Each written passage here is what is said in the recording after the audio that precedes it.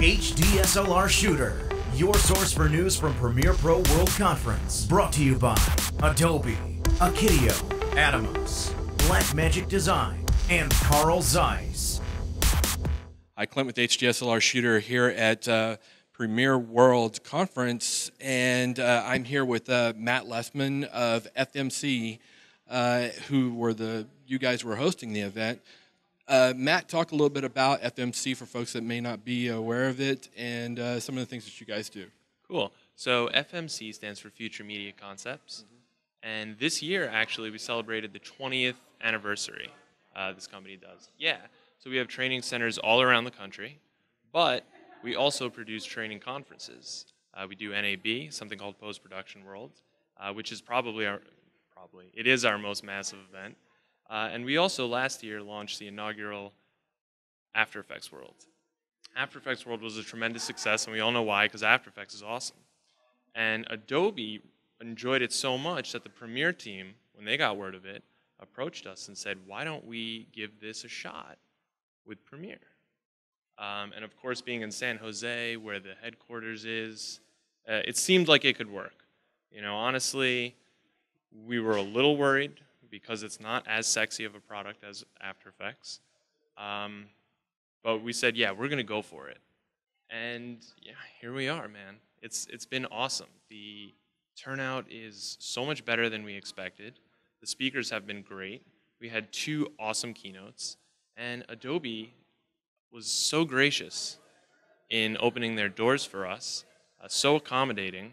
And it really just seemed like the first day of our conference was just so mutually beneficial for everyone. It seems like Premiere will be a stronger product for it. They cultivated sympathy in their users, uh, and everyone really just left enriched. One of the things that it said in the syllabus that you guys gave everyone was, you know, your only regret will be that you can't attend them all, you know, or something to that effect. Yeah. And you know, I read it and I was like, okay, we'll see, you know, but that is the way it was for me. I mean, personally, I, I felt like I was kind of committing adultery in some aspects because, you know, it was like, man, I sure would like to go to that conference. You know, I sure would like to go to, to that session or something like that. It was, and there was no fluff at all. You know, some of these conferences can be filled with like a lot of fluff where they don't teach you anything, you know, where this one in particular, man, I, you know, my brain was just slammed with information. How do you guys, uh, do you guys enjoy a relationship with the presenters prior to this, or how did you go about choosing the folks that were here? Some of these presenters, or instructors, I should say, have been with the company almost as long as the company has been a company. Uh, we have a very intimate relationship. Behind the scenes, it can get pretty tense. But what we're doing is we're collaborating in the months prior to the event to figure out the schedule that is the most accommodating for our attendees and it is the hardest puzzle to solve is how do we create a conference where people can feel good about the session they're attending and the three sessions that they're turning their back on and you know is there a good answer for that? Maybe. We're still trying to figure it out.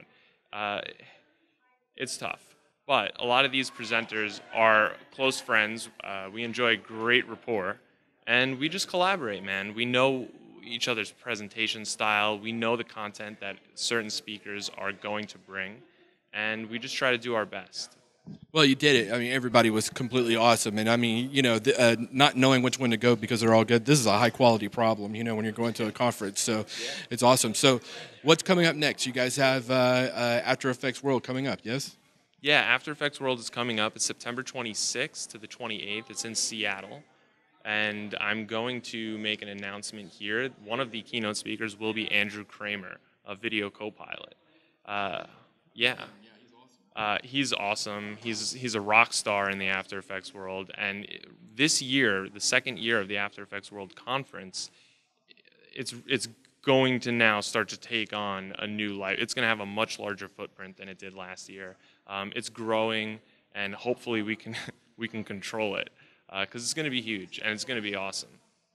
So people want to, you know, get more information on that, or they want to register now, uh, or they want to, you know, just uh, find out more about uh, FMC. Wh- where do they go? Please go to fmctraining.com. Uh, you can look me up, or you can email me at matthewl at fmctraining.com, And for more information on After Effects World, go to aftereffectsworld.com. Matthew, thank you so much. Thank you. HDSLR Shooter, your source for news from Premiere Pro World Conference. Brought to you by Adobe, Akitio, Atomos, Blackmagic Design, and Carl Zeiss.